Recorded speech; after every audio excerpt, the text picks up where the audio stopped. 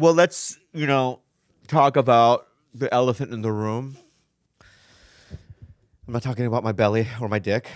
You look slim. Thank you. I'm talking about what happened to me, and I, people are curious to see what happened to me, and uh, I want to tell people in the in the healthiest way I can. You know, without going into extreme, you know, details, but um, essentially something happened um, a while back in my life that um, just put me, that shocked me, and it kind of traumatized me, and um, you know, it's okay, babe. I'm so sorry. It's okay, babe. That was so rude. So serious and the it's largest slur. so rude, but you know what? I I'm gonna let the it go. straw. I it's don't know. these cardboard straws. Yeah. It, why don't you just queef into the fucking mic next time? Just do a fucking hefty Filipino queef. you know, honestly, I could queef on command if you want me to do that right now. yeah. Can you? Yeah, I can. Yeah. You know what it smells like? Durian fruit. anyway, uh, Yeah, anyway. anywho, so like, can we go back? I think queefing is so hot. Yeah, I do too. I Yeah. think I've heard it. Like, you've never heard a girl queef. Have Oh. you had sex in your life? only on Howard. Well, my penis can't create that suction. Yeah. But I've only heard it on Howard Stern, like when they the girls come to the mic and they actually just do it. Yeah. You know. And I also like exotic, stinky fruit in air form. Yeah. just hitting my Just face. in my face. You know what I mean? So It feels good, is why. When it rolls out the pussy, it actually feels really good. okay, can we can we Hot go take: Gilbert only does missionary style. Hey, hot take, hot take. Um, I'm talking about my personal life. here. Oh, yeah. Seriously. Yeah, hot take. Hello. I'm sorry, Um, sweetie. so then you know I didn't know how to um process anything, and then it was so funny? Sorry. We, can't we talked about queefing. I know, I know. And then I relapsed. yeah. I talked about it first, and I just could. I just I don't know. I didn't know. I don't know what else to do. I um, I started drinking, and I went in fast. It just went fast, and I apologize, George. I mean, George had to do a bunch of bullshit, and I'm so sorry. You all, you all, I'm sorry for everyone. Uh, You especially, baby. You had the worst. I know.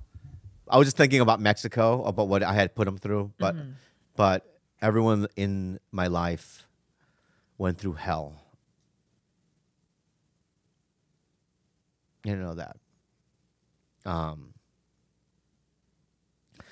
but what ended up happening is I started, you know, drinking and using, it's just smoking pot, but um, I was smoking cigarettes as well and smoking. So what I would do is, you know, I, I just want to tell marijuana companies, um, just from my heart to you, can you please put in dosages on edible packages because, you know what I mean? I don't know how many to take, right? Like a recommendation. Yeah, yeah, two.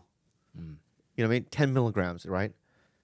I would take, I'm not kidding you, anywhere between, you saw, a thousand Jeez. yeah. to 1500 milligrams. I have a hot take. What? I think that even if they were to put every specific word of information for you, Instruction. Yeah.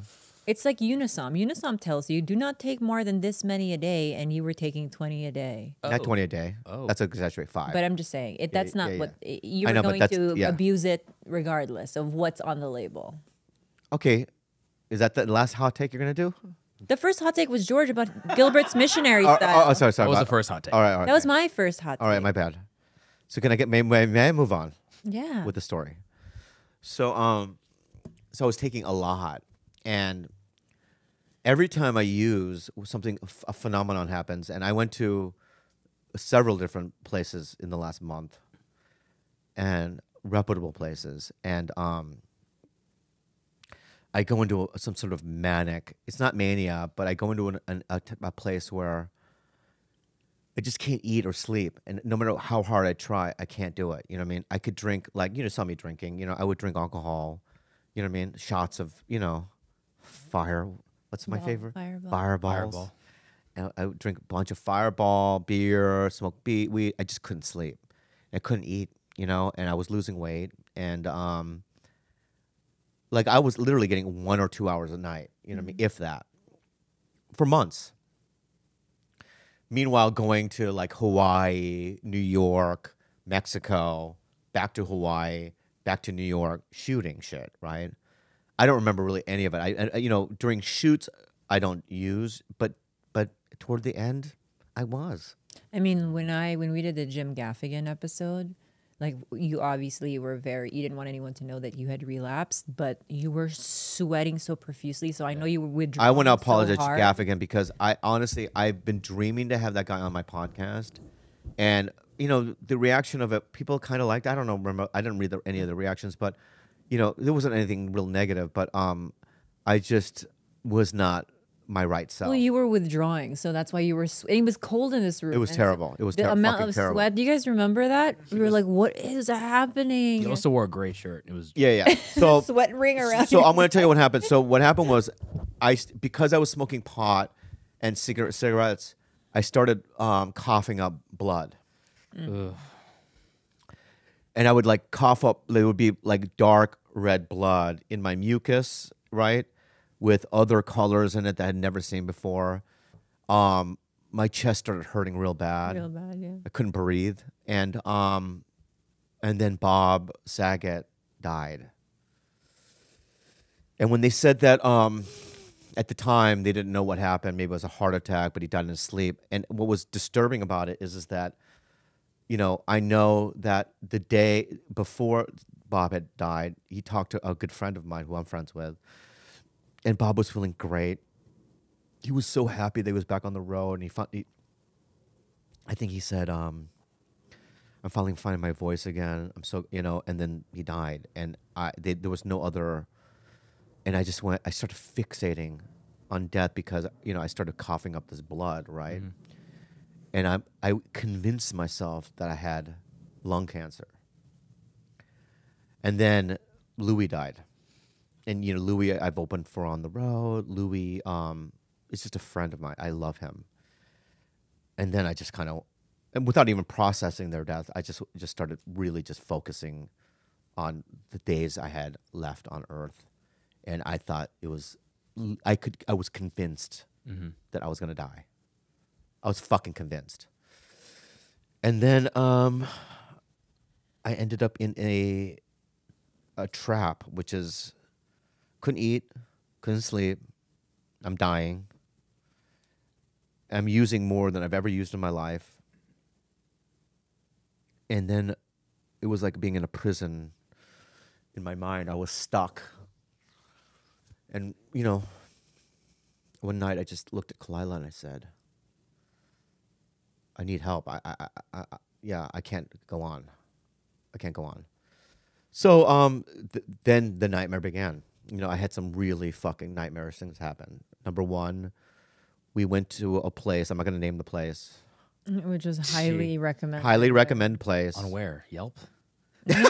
like that, This is Good what joke. happened. the story. There's the joke that I needed. the way you described it. Yeah, yeah, yeah. Sounds like Well, a restaurant here- in the valley.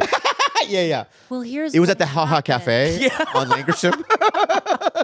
What happened was all of these people were like, "You're going to the best place Mm-hmm. in America. We've been there. It changed my life." And like people that were like close to us, right? yeah. So what we didn't know is the place had gotten bought out in the last Mm. year and is no longer a treatment center that like is like, oh, here's a group of 20 people that we're going to like do intense work with. It's now like a rehab mill Yeah. where it's like just 150 to 250 people like just A little exaggeration. I exaggerated you that. exaggerated that? Yeah, so let's go back to re- what the real number is. The real number is they said that there was 15 people at one point. You know that would they would do that, and the real number is about 80. Still Okay. a lot. That's You know, but, but also the same staff, uh-huh. the amount of staff, right? So you're not getting specific, but that's not even that. It's like when I was so. First of all, it was funny because she's like, first of all, she got mad at me. Get, get this, she gets mad at me for using before going to rehab. Now, I only used before going to rehab because I don't want to be the only person in the history of going to rehabs showing up to rehab sober. Who fucking does that? Hey guys, you don't be a loser. I've been sober for three months. tell him let's, why- let's do this. No, I want to show up naked with a stop sign wrapped around my neck on fire. I mean, that's why, that's how you show up to rehab. Grove Collaborative for your sake. We need.